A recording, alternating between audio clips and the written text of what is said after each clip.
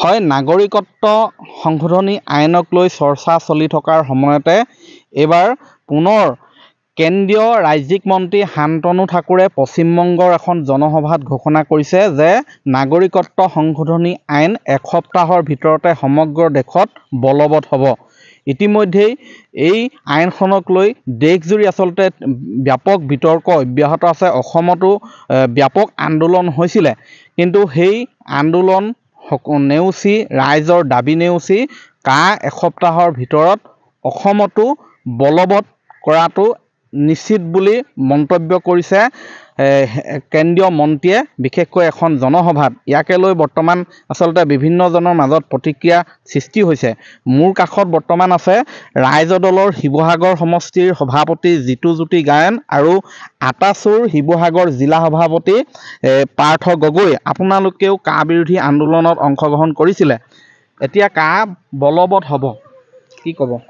আচলতে আমি সংবাদ মাধ্যমৰ জৰিয়তে আমি জানিব পাৰিছোঁ যে অহা সাতদিনৰ ভিতৰত কা বলবৎ হ'ব সমগ্ৰ ভাৰততে। এগৰাকী কেন্দ্ৰীয় মন্ত্ৰীয়ে এই ভাষ্যটো আমি জানিব পাৰিছোঁ।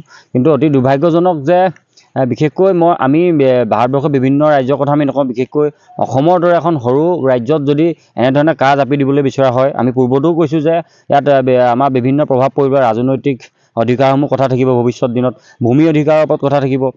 বা খিলঞ্জীয়াৰ বা এতিয়া থকা খিলঞ্জীয়াৰ ভৱিষ্যতে সুৰক্ষিত নহয়। তেনে ক্ষেত্ৰত নতুনকৈ এইখিনি মানুহ আহি ইয়াত হেৰি হোৱাৰ সংস্থাপিত হোৱাৰ পিছৰ পৰ্যায়ৰ কথা বতৰাখিনি কেনেকুৱা থাকিব গতিকে তাৰ পূৰ্বতো অসমৰ ৰাইজে গ্ৰহণ কৰা নাছিল আৰু বৰ্তমানো হয়তো ৰাইজে কেতিয়াও কোনো কাৰণতে এইটো গ্ৰহণ নকৰে স্পষ্ট কথা। আৰু ইয়াৰ কাৰণে আপুনি যদি আগলৈ চাই এটা অসমত এটা তুমুল এটা প্ৰতিবাদ সৃষ্টি হৈছিল। আৰু আমি ভাবোঁ যে যদি এনেধৰণে যদি অসমত জাপি দিবলৈ বিচাৰে অসমৰ লেখীয়া এখন সৰু ৰাজ্যত যদি জাপি দিবলৈ বিচাৰে বিশেষকৈ অসমৰ জনতাই ইয়াৰ বিৰুদ্ধে নিশ্চয়কৈ প্ৰতিবাদ সাব্যস্ত কৰিব। আৰু বিশেষকৈ অসমত বসবাস কৰা প্ৰতিটো জাতি জনগোষ্ঠী সৰু সৰু জনগোষ্ঠীসমূহৰ যি ভাষা সংস্কৃতি আছে সেই সংস্কৃতিত ব্যাপক প্ৰভাৱ পৰিব। গতিকে এনেধৰণৰ এটা ব্যৱস্থাক মই আমি ভাবোঁ যে ৰাইজে কোনো কাৰণতে আদৰি নল'ব। কি ক'ব? সঁচাকৈ একেবাৰে নিন্দনীয় পশ্চিমবংগত কেন্দ্ৰীয় মন্ত্ৰীগৰাকীৰ এই এসপ্তাহৰ ভিতৰতে যিটো কা বলবৎ কৰাৰ যিটো তেখেতসকলে বক্তব্য ৰাখিছে এইটো আমি খুব আমি ৰাইজৰ দলে তীব্ৰ নিন্দা কৰিছোঁ ধিক্কাৰ দিছোঁ। পাঁচজন শ্বহীদৰ ত্যাগেৰে গঠন হোৱা ৰাইজৰ দলে আৰু কোনো কাৰণতে এই যি কা বলবৎৰ কাৰ্যসূচী আগতেও মানি লোৱা নাই ভৱিষ্যতেও মানি নলয়। আমি ইয়াৰ তীব্ৰ বিৰোধিতা প্ৰতিবাদ অনাগত সময়ত হ'ব। আৰু তাতকৈ ডাঙৰ কথাটো সুপ্ৰিম কোৰ্টত বিচাৰাধীন এটা কেছ চলি থকাৰ পাছত কেনেকৈ কেন্দ্ৰীয় মন্ত্ৰীগৰাকীয়ে ক'ব পাৰে যে আমি তাৎক্ষণিকভাৱে সাত দিনৰ ভিতৰত আমি ইয়াত কা বলবৎ কৰিম। এইটো কোনো কাৰণতে মানি ল'ব পৰা কথা নহয়। এইটো এটা ফেচিষ্ট চৰকাৰ। এই সাম্প্ৰদায়িক চৰকাৰখনৰ এটা এটা মানে ফেচিষ্ট এটা আজি চৰিত্ৰটো খুব সুন্দৰকৈ প্ৰতিফলিত কৰিছে। এই চৰকাৰখন তেখেতৰ কথা বতৰা আচৰ আচাৰ আচৰ আচৰণে প্ৰতিফলিত কৰিছে। আৰু কোনো কাৰণতে লাখ লাখ হিন্দু বাংলাদেশী অসমত প্ৰৱেশ কৰাৰ যিটো পথ তেওঁলোকে মানে কাৰ যোগেদি আনিব খুজিছে এইটো কেতিয়াও মানি ল'ব পৰা ধৰণৰ নহয়। ইয়াৰ আমি তীব্ৰ বিৰোধিতা কৰিছোঁ। এন আৰ চি উন্নীতকৰণ প্ৰক্ৰিয়া সম্পূৰ্ণ হোৱা নাই। এন আৰ চি আচলতে বিসংগতি থাকি গৈছে। এখন শুদ্ধ এন আৰ চি প্ৰস্তুত নহ'ল বুলি কোৱা হৈছে। কিন্তু এন আৰ চি সঠিক শুদ্ধ ৰূপত প্ৰকাশ নকৰা হোৱা নাই। তাক লৈও আচলতে প্ৰতিক্ৰিয়া অব্যাহত আছে। কিন্তু ইয়াৰ মাজতে সেই আখুৱাসমূহ দূৰ নকৰি কা তাৰ পূৰ্বেই বলবৎ কৰাক আচলতে কি ধৰণে ক্ষতি কৰিব পাৰে?